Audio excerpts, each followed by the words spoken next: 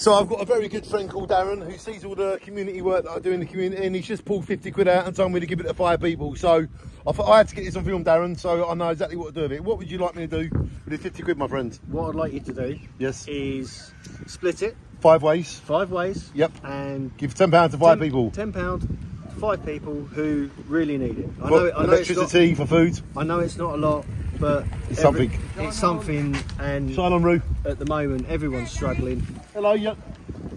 Some more than others. Yep. Um, but what I can spare, I will donate. Darren, that is so thoughtful. And there you go. The Happy Club is coming this Tuesday, and I am going to give five people £10 each to help with the cost of living on this man here, Darren. Thank you, Darren. I promise you, five people it will reach. Thank you. And I might just be five people in one. Only joking.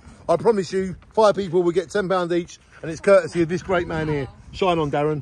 Shine on. This Tuesday, if you want the money, see you at Happy Club and shine on.